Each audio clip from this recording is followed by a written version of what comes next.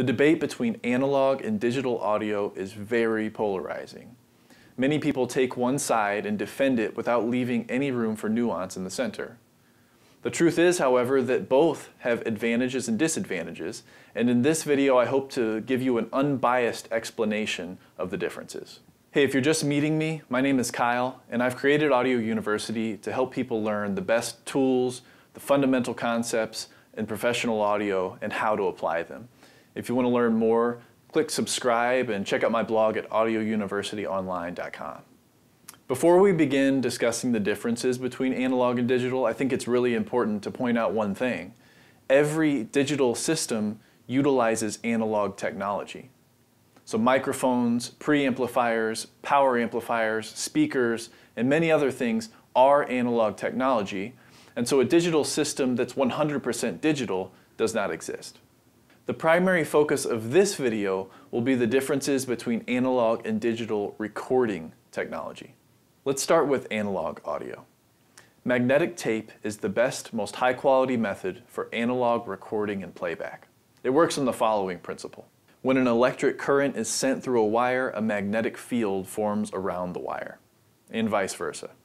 The record head on a tape machine is an electromagnet meaning that its magnetic field alternates with the current that runs through it.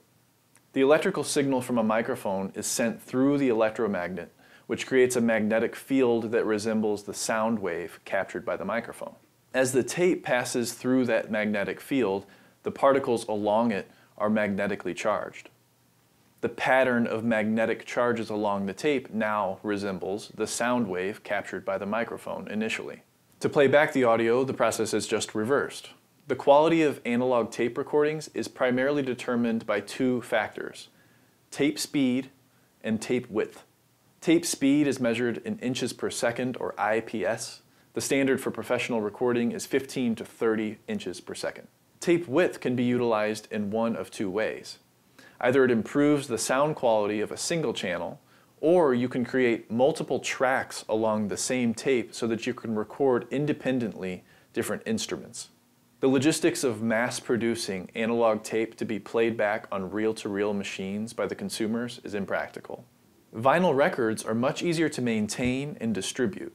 And unlike tape, they're not vulnerable to being destroyed by magnetic fields.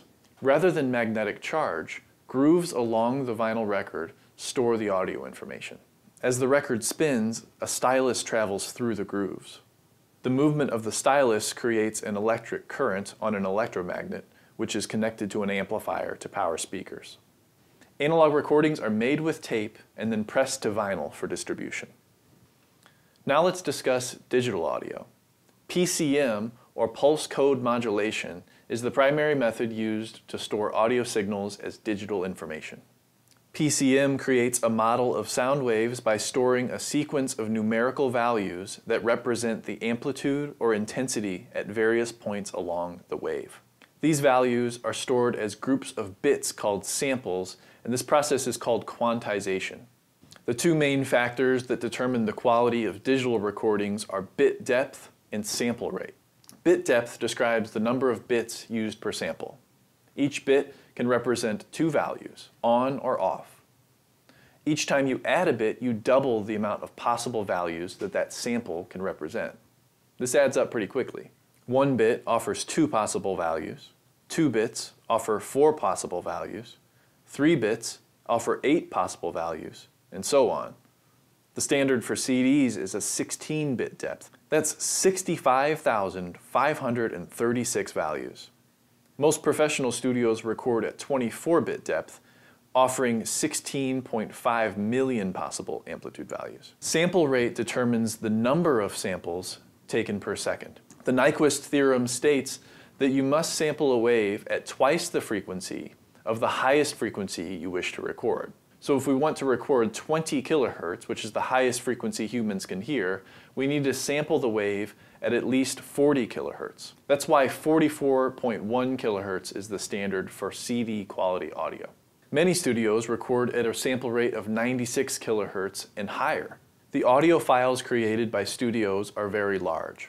A three minute recording created with 24 bit and 96 kilohertz sample rate would be about 52 megabytes.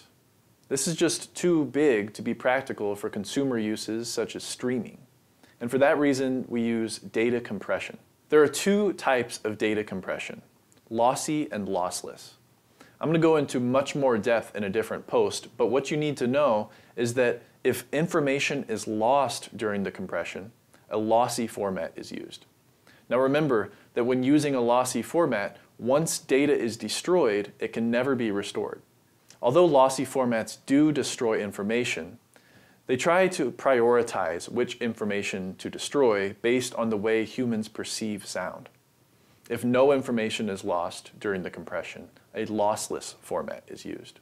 Lossless files can preserve perfect audio quality, but they're also much larger than lossy format files. Now that you understand the methods used by analog recording and digital recording technologies, you understand that there's a common goal, to create a model of a sound wave that can be played back later. Each method does this pretty well. But in this section, I'm going to show you the key differences, the drawbacks and the advantages of each method. Now, often digital audio is portrayed as this square wave, but in reality, the samples are just points in time. So the waveform created by digital audio recording is not as jagged as some people make it seem. The major drawback to tape, however, is the noise floor. You hear hiss in old recordings, and that's because there's always an inherent noise associated with magnetic tape. The theoretical noise floor of a 24-bit digital recording is negative 144 decibels. That's effectively no noise floor. Now, of course, keep in mind that every single digital system uses analog components, and so the inherent noise of those analog components can add up just like it would in an analog system. Another key difference is longevity and vulnerability. Not only do analog media contain inherent noise from the beginning, but they're also much more susceptible to degradation over time. The final difference, and the reason why digital audio has taken the world by storm, is portability and reproducibility. One digital recording can be made and then copied an infinite amount of times. It can be shared with the entire world at very little cost across the internet. To do that with analog recording, you would have to create miles worth of tape or thousands, millions of vinyl records. Then you'd have to manufacture each one separately using very expensive machines. Digital audio is much more economical. So that sums up the main differences of analog and digital recording.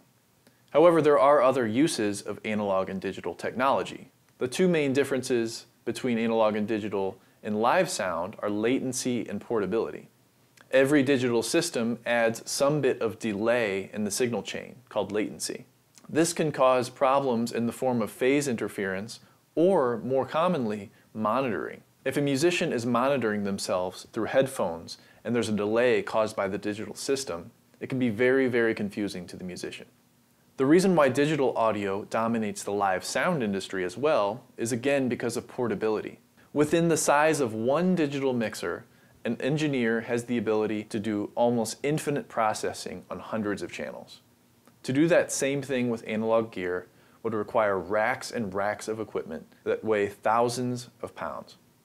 Noise floor also plays into this equation. Because digital processing occurs inside one box, you're not daisy chaining equipment together like you would with analog. As you daisy chain more and more equipment, you're summing the inherent noise from each of those devices. The truth is that digital and analog technology have value even in the modern world. Each one has its drawbacks, each one has its advantages, and it's up to us as audio engineers and musicians and listeners to decide which technology is best for our circumstances. I really hope that this video has been helpful. If you've gotten value out of this, hit the like button for me. If you want to learn more about the fundamental concepts and tools of audio and how to apply them, subscribe to my channel and check out my blog at audiouniversityonline.com. Thanks for watching.